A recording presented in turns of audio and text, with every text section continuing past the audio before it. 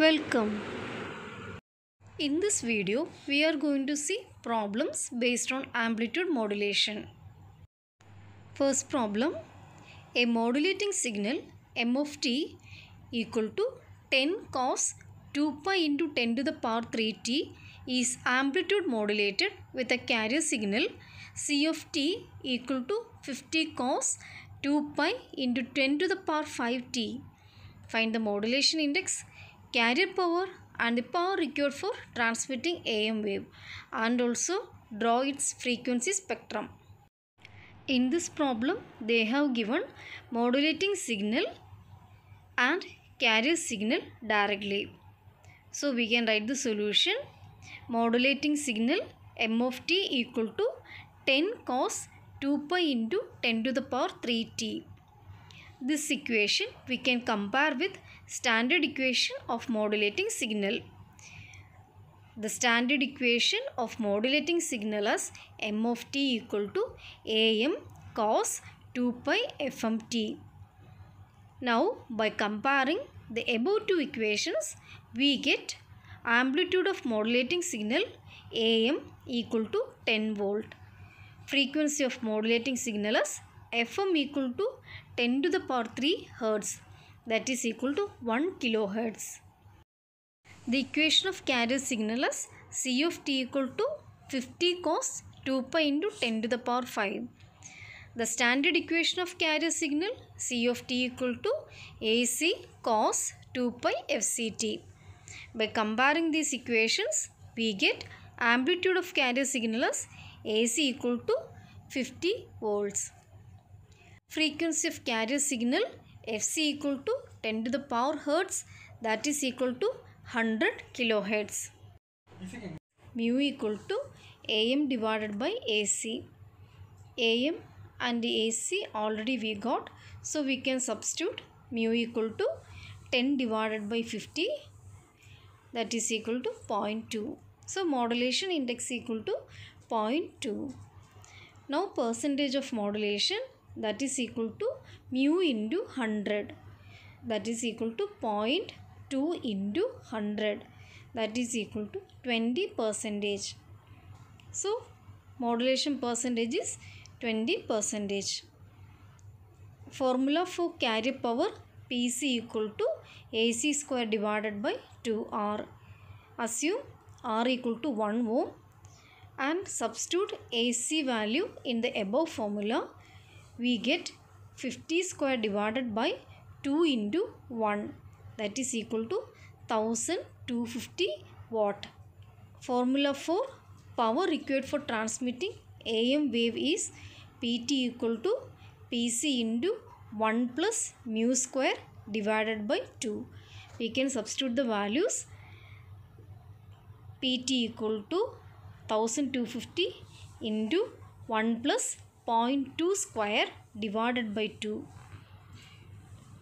When we solve, we get 1275 watt.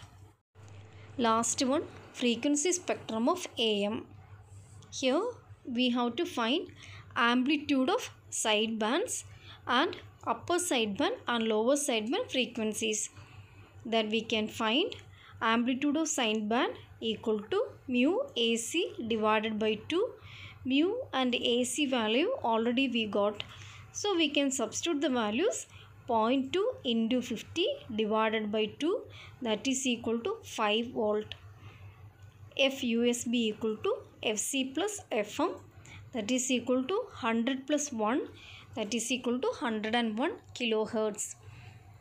F LSB equal to FC minus FM that is equal to 100 minus 1 that is equal to 99 kilohertz that we can substitute in the diagram and we get the frequency spectrum.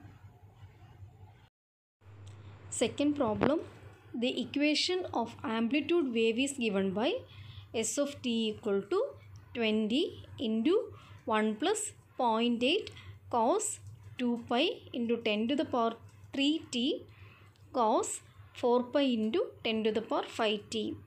Find the carrier power, total sideband power and bandwidth of AM wave.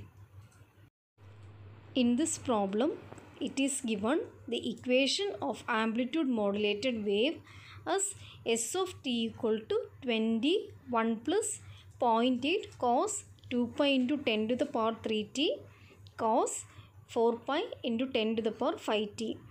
This equation can be compared with standard amplitude modulated wave s of t equal to ac 1 plus mu cos 2 pi fmt into cos 2 pi fct. And now we can rearrange the equation. We get it as s of t equal to 20 1 plus 0.8 cos 2 pi into 10 to the power 3t cos the question what they have given is 4 pi that we can write it as 2 pi into 2 into 10 to the power 5t. By comparing these two equations we get amplitude of carrier signal as AC equal to 20 volt, modulation index mu equal to 0.8, frequency of modulating signal FM equal to 10 to the power 3 hertz that is equal to 1 kilohertz frequency of carrier signal is fc equal to 2 into 10 to the power 5 hertz. That is equal to 200 kilohertz. Formula for carrier power pc equal to ac square divided by 2r as r value is not given we can assume r equal to 1 ohm and substitute AC value in the above formula. We get PC equal to 20 square divided by 2 into 1 that is equal to 200 watt. Therefore the carrier power PC is 200 watt. The formula for total sideband power is P sideband equal to PC mu square divided by 2. PC and mu value already we have so we can substitute in the above equation PSB equal to 200 into 0.8 square divided by 2 that is equal to 64 watt. Therefore the total sideband power is 64 watt. Then the formula for bandwidth of AM is bandwidth equal to 2 FM.